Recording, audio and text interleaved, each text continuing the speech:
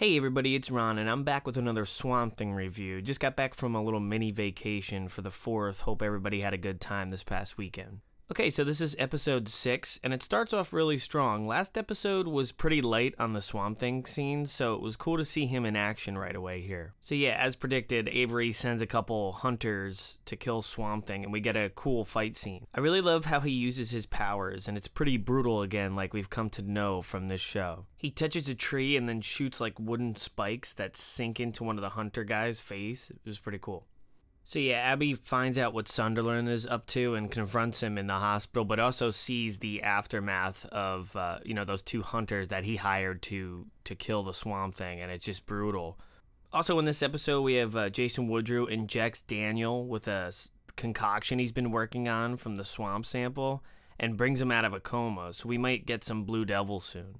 Oh, something that totally flew over my head last episode was that guy in the swamp was supposed to be Phantom Stranger, and I just I'm, I must not have heard him call himself Stranger, but obviously his appearance in the show is nothing like in the comics, so it threw me off a little bit.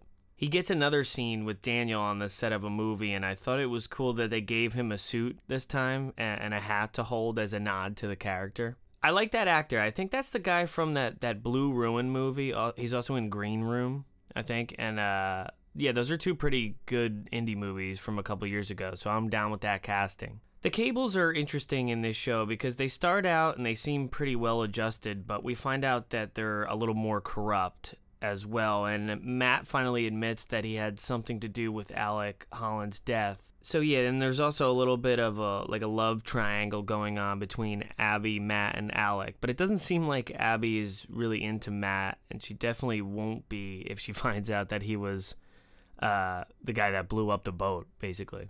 As soon as Cassidy wakes up, he ends up going to Woodrue's house and gets taken down by Sunderland and placed back into the hospital. Xanadu visits him and says she can't really interfere with his destiny, but puts him at ease a little bit. This is a side plot that I really hope we get some payoff with because there's a lot of setup happening here and I don't know where it's going. I'm still a little nervous that it'll, it will uh, abruptly end and we probably won't get another season, at least not on this DC app. So that's going to be in the back of my head, unfortunately, for these last couple episodes. Overall, I thought it was pretty solid. I really want this next episode to kick into gear a little bit more.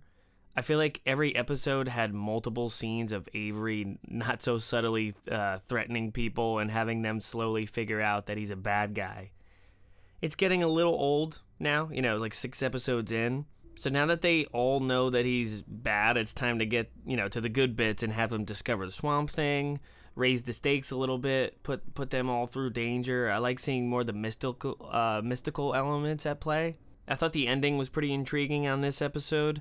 Uh, a plant starts forming on Swamp Thing's hand, and it releases a gas of some sort that makes Abby see Alec as he once was uh, when, when she inhales it. I'm pretty sure this is like a callback to uh, the Alan Moore run, the idea that some of the green can be used almost as like a psychedelic drug. So yeah, I'm interested to see what they do with that in the next episode. Anyway, let me know what you guys thought in the comments and be sure to like and subscribe if you like the channel. It'll help me out a lot. So thanks for watching.